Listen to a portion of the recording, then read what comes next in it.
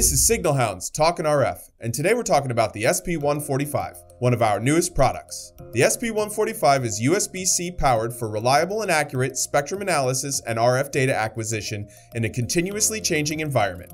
RF professionals everywhere will find diverse use for the SP145, including LTE test and measurement, vector signal analysis, drive testing, spectrum monitoring, and more. Hello, and welcome to Talking RF. Sean here with Justin Crooks, Senior RF Engineer and Hardware Designer for all Signal Hounds products. Today we're talking about the SP145, our newest spectrum analyzer set to hit the market later this year. The SP145 is 100 kHz to 14.5 GHz real-time RF spectrum analyzer that offers instantaneous bandwidth of 40 MHz and a sweep speed of 200 GHz per second. Featuring an internal GPS and a wider dynamic range, the SP145 is bridging the gap between our popular BB series and our top-of-the-line SM series of products. Justin, the SP145. Yes. Exciting. Very new, exciting. New product out for the market. Let's talk about it. Uh, what is the SP145 and where in the world does it fit in? So there aren't a lot of uh, portable spectrum analyzers that, that go beyond six gigahertz. You know, everyone has their six gig product, but very few people actually go beyond that. Um, we also included an internal GPS. So, you know, we're thinking about the mapping type solutions, whether it's, you know, walking or driving, you know, drive test solutions. Um, all of that just becomes so much simpler with the SP145. You can extend your frequency range. You know, they're, they're using stuff above six gigahertz a lot more now, up, up through like seven and a half, eight gigahertz, even, you know, for short range type communications. And uh, of course, the satellite industry uses a lot higher frequencies. Uh, and the SP145 is an answer for, for all of those. How were you able to kind of like take the best parts of what you thought uh, for the SP145 from the SM200 and put them into such a tight, compact format, a portable format? For sure, I wanted to keep the dynamic range, um, which kind of did set a floor for how much power I would need.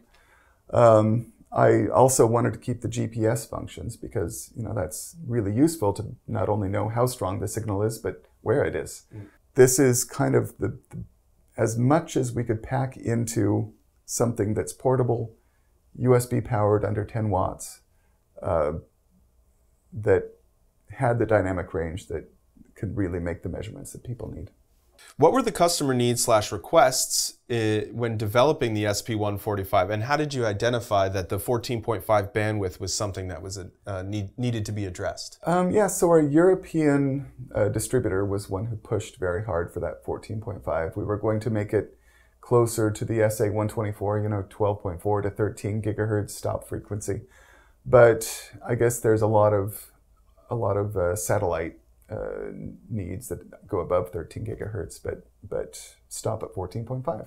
Can you identify some applications or uses that maybe the SP145 will be able to fit in in between the BB and the SM? The SP145 does have 40 megahertz of you know, real-time streaming bandwidth. Um, there's a lot of LTE type signals that occupy a, a full 40 megahertz slice, and uh, including some of the new the Wi-Fi standards. It's a very common uh, bandwidth requirement for uh, both commercial and military applications. Idea was to provide as much bandwidth and frequency coverage as we could in a form factor that's a lot closer to the BB60D than the SM200. So portability was kind of like a big yeah. motivating factor and portability and power. Yeah, and we were also thinking about the, the drone market. You know, increasingly people are putting these, you know, spectrum analyzers and receivers on drones and flying around taking measurements, you know, not only on the ground, but, you know, circling antennas or uh, other aerial type measurements. Um, and the size, weight, and power become super important for applications like that. Uh, can you take us through some of the architectural design aspects? Uh, yeah, the SP145 is uh, super simple. It's a low IF system like the SM200. Um, we're uh, dual channel 122.88 uh, megasample per second ADCs. Uh, we're bringing in that data and then we're doing basically just using one sideband uh, for image rejection for the sideband that we're keeping. Um, and we're able to do that uh, over temperature uh, you know, with the, the IQ balance corrections that we generate in our temperature chamber. So, can you talk a little bit more about like the internal GPS?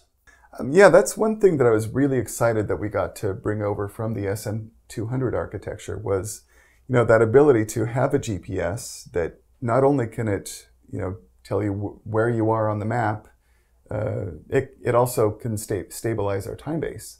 So now, you know, you don't really have to worry, am I, you know, 0.1 ppm off? You know, if you've got a GPS, your frequency is, is almost perfect.